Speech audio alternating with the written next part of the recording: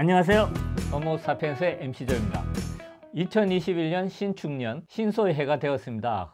코로나19 상황이 여전히 좋지 않아서 이번에도 게스트 없이 진행합니다. 오늘의 맥주는 Stone 양조장의 Enjoy By 시리즈 맥주고요. Enjoy By 시리즈는 여러 타입의 IPA 맥주가 나오는데요. 이번에 소개할 것은 Unfiltered IPA입니다. 이름처럼 언제까지 마셔야 가장 좋다는 날짜를 아예 패키지에 적어 두었습니다. 날짜를 한번 보시면 010121이라고 되어 있죠. 네, 맞습니다. 완전한 새해 기념 맥주죠. 어, 패키지도 그래서 불꽃 놀이가 배경으로 되어 있습니다. 크래프트 맥주에 관심을 가지고 계신다면 너무나도 유명한 양조장이라 바로 알아보셨을 텐데요. 일반적인 분들은 처음 보실 수도 있을 것 같아요. 저희 채널 맥주광장 7회에 같은 양조장 맥주가 등장해서 자세하게 다루고 있으니까요. 관심 있으신 분들은 한번 보시면 좋겠습니다. 그리고 이제 맥주의 스펙은요. ABV가 9.4도이고요. IBU가 90입니다. 스타일은 더블 IPA고요. 자, 그럼 마셔보겠습니다. 자, 그럼 마셔보겠습니다.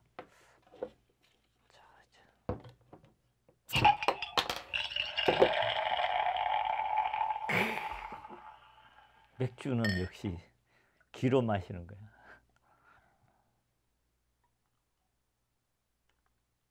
색깔 보시면 황금빛보다는 좀 강한 엠버 쪽이 조금 가깝죠. 한번 마셔보겠습니다.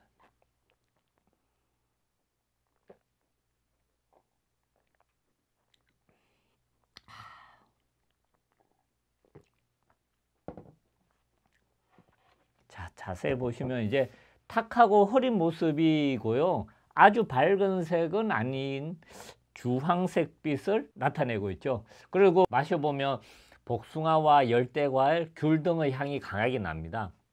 그리고 약한 탄산감이 있고요. 도수에 비해서 알코올 느낌이 좀 강하게 다가오지는 않아요. 약간 흙이라든지 뭐 풀, 솔잎 향들도 있고요. 약간의 질감이 느껴지고 무게감이 있어요. 어, 이 맥주의 스타일인 더블 IPA는 IPA를 강화시킨 버전이라는 뜻인데요. 어, 일반 IPA보다 도수가 높고 홉을 많이 넣어 홉 특성이 강하게 나타나는 게 가장 큰 특징입니다. 도수가 두 배로 높아진 것은 아니고요. 그냥 더블이 강화되었다는 표현으로 더블을 사용했습니다. 높은 도수에도 음용성이 좋고 홉이 많이 첨가되었음에도 깔끔하고 거칠지가 않고요. 어, 이 맥주는 특별히 언필터드, 즉 여과하지 않은 IPA라고 되어 있습니다. 맥주를 여과하지 않은 상태로 두면 홉으로 인해 가지고 변화가 뚜렷해지는데요. 향이 강해지고 질감은 부드러워지지만 외관이 조금 탁해지는 이런 모습을 보이게 되고요. 그래서 좀 더 빨리 먹어야 한다는 문제점? 약점? 맥주는 빨리 먹는 게 좋으니까요. 그리고 이 맥주의 경우에는 기존 Stone Brewing IPA에 비해 가지고 홉에서 나오는 과일 향이 강해지는 효과를 보았다고 해요. 그러니까 한층 강화된 더블 IPA를 요구하지 않고 더욱 홉 특징을 강화시킨 맥주라고 보시면 되겠습니다. IBU가 90이니까요. 쓴맛은 꽤 많이, 아니 굉장히 많이 느껴지고요. 쓴맛을 즐기는 제한테는 아주 좋은 훌륭한 맥주입니다.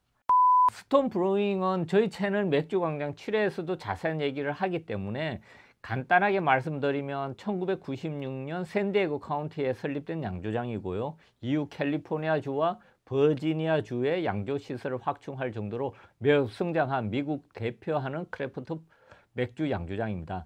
심벌인 가고일의 얼굴을 많이 알고 계시겠는데요. 서양에서는 가고일의 얼굴은 우리나라의 처용의 얼굴과 같은 의미가 있다고 합니다.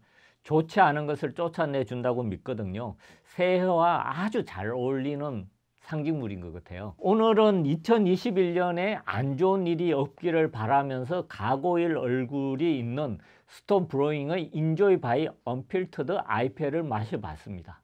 이 맥주는 뭐 bottle shop에 가시면 구할 수 있다고 하지만 이 맥주는 1년에 한 번밖에 안 나와요. 보통 12월 한 10일 전으로 나오니까요. 그때 비행기를 타고 와요. 그래서 사셨다가 12월 31일 날 올해 12월 31일 날 또 아마 나오지 않을까 하는 생각이 들고요. 그리고 뭐 특히나 Enjoy By 시리즈는 나올 때마다 이렇게 날짜가 서여져 있으니까요. 가장 훌륭하게 드실 수 있는 날짜를 보시면서 맥주를 마시는 재미를 느끼기 바랍니다. 자, 오늘 뭐 영상 유익하셨다면 구독, 좋아요, 알림 설정 부탁드립니다. 감사합니다.